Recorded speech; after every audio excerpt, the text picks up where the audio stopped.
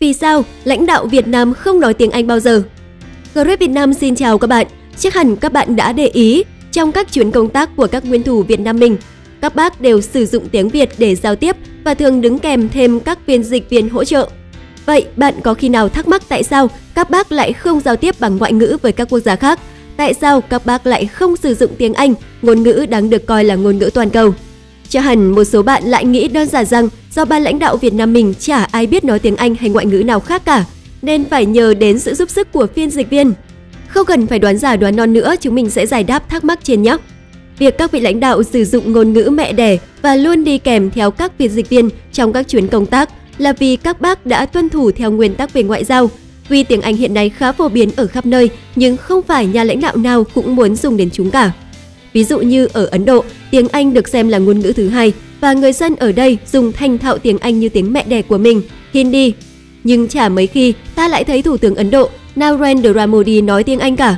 Mặc dù vốn tiếng Anh của ông rất tốt, nhưng khi ngoại giao với các quốc gia khác, ông lại chỉ dùng tiếng Hindi của Ấn Độ. Tiếp theo là Chủ tịch Tập Cận Bình. Ông cũng rất giỏi tiếng Anh vì ông đã có một thời gian công tác và học tập tại đất nước Mỹ, nhưng ông lại hiếm khi sử dụng thứ tiếng này trong công việc của mình. Tổng thống Nga Vladimir Putin cũng thế, ông rất giỏi tiếng Anh nhưng cũng hiếm khi sử dụng chúng. Ngoài ra, còn có các nhà lãnh đạo thế giới khác như là Thủ tướng Thổ Nhĩ Kỳ Erdogan và cố Thủ tướng Nhật Bản Shinzo Abe cũng đều không sử dụng tiếng Anh trong những lần công du của mình. Cựu Tổng thống Pháp Francois Hollande cũng có thể nói tiếng Anh rất tốt, nhưng ông cũng đã từng nhấn mạnh một Tổng thống Pháp phải nói tiếng Pháp. Cựu Thủ tướng Đức Angela Merkel trong quá khứ có bài phát biểu bằng tiếng Anh tại Quốc hội khá trôi chảy, nhưng đây có vẻ là lần duy nhất bà ấy giao tiếp bằng tiếng Anh. Trong khi đó, cựu Ngoại trưởng Đức Guido Westerwelle từng từ chối trả lời một câu hỏi của phóng viên nhà đài BBC vì nói tiếng Anh mặc dù ông có thể giao tiếp rất tốt ngôn ngữ này. Chắc tới đây các bạn cũng đã hiểu một phần về lý do tại sao đi công tác ở các nước trên thế giới, các bác lãnh đạo Việt Nam dứt khoát nói chuyện giao tiếp bằng tiếng Việt chưa nhỉ? Tiếp theo là giải đáp thắc mắc về việc các lãnh tụ Việt Nam có biết tiếng Anh hay không mà phải dùng phiên dịch viên. Vâng, các bạn cứ thử nghĩ mà xem, tứ trụ của Việt Nam trên toàn khắp đất nước 100 triệu dân chỉ mới chọn ra được 4 người thì các bạn nghĩ các bác ấy có biết tiếng Anh hay không? Ví dụ điển hình là bác Phạm Minh Chính. Trước khi đi làm thủ tướng thì ông đã có một khoảng thời gian làm đại sứ quán cho các nước châu Âu nên tiếng Anh cứ âm âm. Tổng bí thư Nguyễn Phú Trọng thì đã có một thời gian sinh sống và học tập tại Liên Xô và các quan chức cấp cao khác cũng là những tiến sĩ hoặc du học sinh trở về đóng góp cho đất nước thì liệu họ có thể nói tiếng Anh hay không? Tác dụng của việc đi học nó quan trọng lắm. Tầm cỡ lãnh đạo muốn học tiếng Anh thì mấy anh sợ không học được à? Mấy bạn trẻ sợ các bác không có tiền học à? Đơn giản là không cúi đầu phục tùng trước một ai, đất nước nào cũng có tiếng nói riêng, là niềm tự hào của dân tộc đất nước Việt Nam. Sao các bạn không hỏi lại là các bác ấy nói được bao nhiêu tiếng? Nhà mình chỉ sơ sơ là dân thường, nhưng ông bà đã la con cháu bằng cả Anh, Nga, Pháp.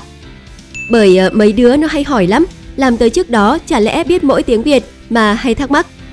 Thế mới nói việc học rất quan trọng, lòng yêu nước thể hiện qua lời nói. Tiếng nói là màu cờ sắc áo, tự tồn dân tộc nên ngoại giao càng phải dùng tiếng mẹ đẻ. Theo nguyên tắc là thế, nhưng cơ bản đảm bảo các bác ấy không giỏi tiếng Anh, chứ không phải không biết tiếng Anh, sai một chữ là đi cả một quốc gia, có phiên dịch cho an lành. Tại sao các ông nước ngoài sang thăm Việt Nam lại phải nói tiếng Anh thay vì học tiếng Việt để dễ giao tiếp hơn? Đã là lãnh đạo, ai cũng đủ các bằng cấp, thì làm gì có chuyện không biết, chẳng qua lãnh đạo không dùng tiếng khác ngoài tiếng của nước mình.